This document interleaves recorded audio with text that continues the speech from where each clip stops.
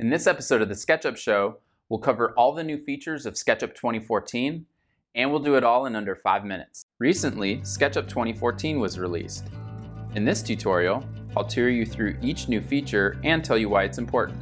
And if you've watched the last several episodes, you'll know by now that I've added the Space Mouse wireless to my setup.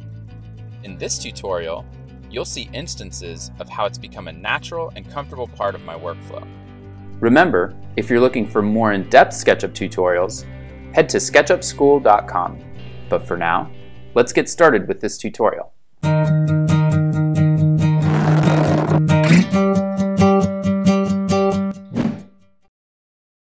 The existing two-point arc tool wasn't ideal for all of our arc needs.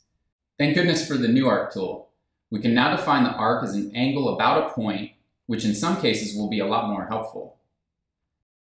Not to be left out, the Pie tool works the same, but fills in a surface at the same time. In the past, having the shadows turned on for larger models would often grind SketchUp to a screeching halt but not anymore. You can keep them turned on now, and you'll see a huge boost in rendering speed while you're modeling.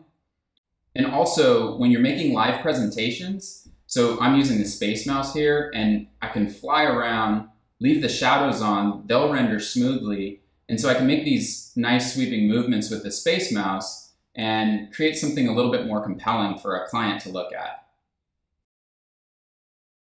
Now, if you care about fitting SketchUp into your BIM workflow, then this one's for you. You can use the classifier tool to tag components in your model with IFC compatible metadata. And then, when you're all done tagging everything you want, you can export the model, metadata and all, to an IFC file format. The warehouse got a huge facelift, which will definitely make it better to use.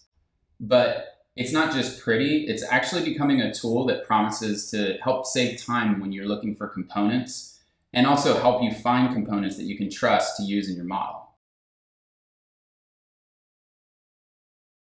So SketchUp has an API that allows developers to write programs that talk to SketchUp. And Ruby is the language that SketchUp speaks. With the launch of 2014, SketchUp has upgraded the version of Ruby that it uses, added access to Ruby's standard library, and added new classes, methods, Ruby console upgrades, and a long list of bug fixes. If you're a SketchUp developer, you're probably smiling right now. And if you're a SketchUp user, trust me, the future is a bright and shiny place filled with awesome new SketchUp extensions. Most of us using SketchUp half expect layout to work this way already. You can name a component or group in SketchUp, and now the label tool in layout will reference that name.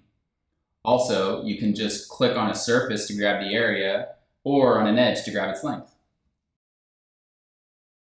Last but not least, this one's a big time saver for layout users.